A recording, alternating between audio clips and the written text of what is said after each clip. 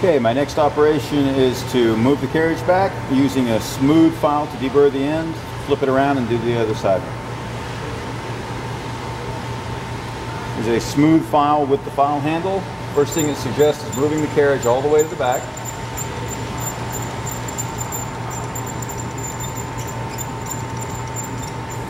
Turn on the spindle. Then this is going clockwise using the heel of my hand on the file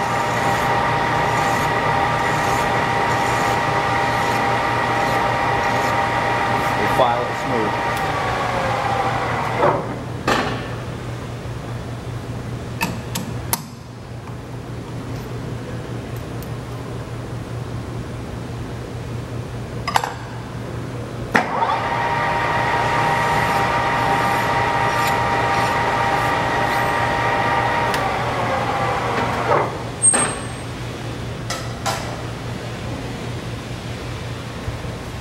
That part has been filed smooth.